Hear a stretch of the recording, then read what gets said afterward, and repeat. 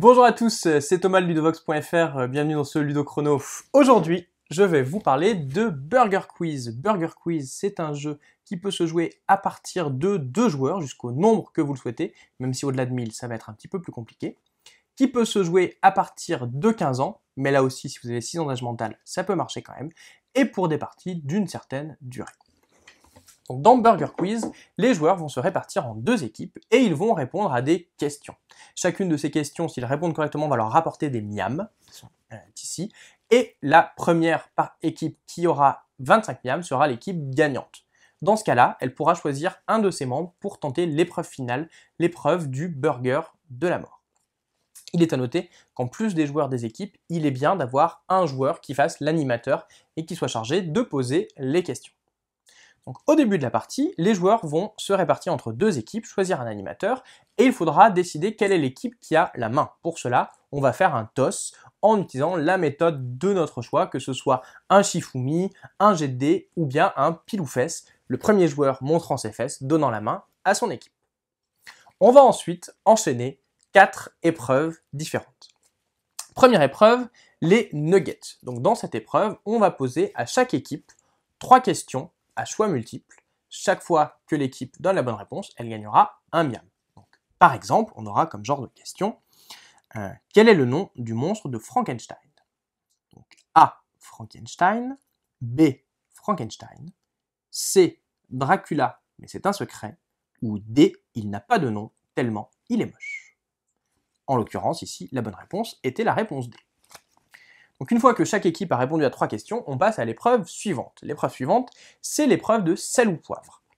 Cette fois-ci, eh bien, il va s'agir d'une épreuve de rapidité, c'est-à-dire que chaque fois que la question est posée, ce sera l'équipe qui sera la plus rapide pour donner la bonne réponse qui marquera le point. Mais attention, si jamais on donne une mauvaise réponse, le point ira à l'équipe adverse. La particularité de sel ou poivre, c'est que chacune des questions aura pour réponse une chose, une autre, ou bien les deux. Par exemple, si je vous dis Audrey Toutou, Pikachu ou les deux, toutes les questions que je vais poser auront pour réponse Audrey Toutou, Pikachu ou les deux. Par exemple, est né le 9 août 1978, Audrey Toutou, est poilu, Pikachu, a fait du cinéma, les deux. Chaque bonne réponse, comme je l'ai dit, rapportera un miam. La troisième épreuve, ce sera l'épreuve des menus. Donc on va piocher trois menus différents, deux menus bleus et un menu rouge. On proposera les trois menus à l'équipe qui a la main, qui en choisira un et qui répondra aux questions du menu.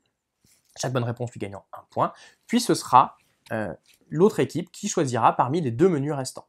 Alors comme exemple de menu, on peut avoir ici un menu Lucky Luke avec comme question vrai ou faux Johnny Hallyday a joué Avril. La réponse étant bien sûr faux. Un menu stéphanois. Qui c'est les plus forts? Évidemment, c'est les verts. Et enfin, un menu, euh, les livres historiques d'Henri Irénée Marou que je n'ai pas relu depuis longtemps. Avec un exemple, quel est son premier livre sous le nom d'Henri Irénée Marou? Comme tout le monde le sait, c'est évidemment L'ambivalence du temps en l'histoire chez Saint-Augustin, qui date bien sûr de 1950. La dernière épreuve, c'est l'épreuve qui va départager tout le monde, et cette fois, chaque bonne réponse ne rapportera pas un, pas un, mais trois miams, et ce sera l'addition. Donc l'addition, c'est là aussi une épreuve de rapidité, donc avec les mêmes règles que sel ou poivre. Et la particularité, c'est que chaque questionnaire aura euh, un thème différent. Par exemple, on pourra un questionnaire avec toutes les réponses se finissent en R. Donc quelque chose qui peut lâcher à tout moment, une chaudière, une centrale nucléaire, une poudrière, une guerre, le lifting de chair. On va continuer l'addition jusqu'à ce qu'une des deux équipes arrive à 25 miam et alors ce sera l'équipe gagnante. Cette équipe pourra alors choisir un de ses euh, membres pour participer au Burger de la mort. Le Burger de la mort, c'est l'épreuve finale, dans laquelle on va poser 10 questions. Et il faudra répondre à ces 10 questions dans l'ordre, mais simplement après que toutes les questions aient été posées. Par exemple, les questions peuvent être de quelle couleur sont les ours polaires? Stressé ou pas stressé Quelles sont vos initiales? Quel est le dernier sport que vous avez pratiqué? Combien font 322 moins 5 donc quand on aura posé les 10 questions, le joueur devra répondre dans l'ordre. En l'occurrence, ici, la réponse ce serait blanc, oui, je suis stressé, euh, TR, et euh, j'ai fait de la course à pied. Si jamais le joueur se trompe ou bien il a oublié l'ordre des questions, eh bien le burger de la mort s'arrête. S'il arrive au bout des 10 questions, il aura gagné le grand burger de la mort, son équipe sera la grande gagnante. S'il a fait 5 questions, il aura fait le petit burger de la mort, son équipe sera quand même gagnante. Et s'il n'arrive pas jusqu'au petit burger de la mort, eh bien son équipe aura quand même écrasé l'équipe adverse et c'est déjà une bonne source de satisfaction. Burger Quiz, c'est donc un jeu dans lequel il va falloir répondre à des questions humoristiques en faisant preuve soi-même d'humour, en étant parfois plus rapide que euh, l'équipe adverse, et en tout cas en ayant une bonne ouverture d'esprit.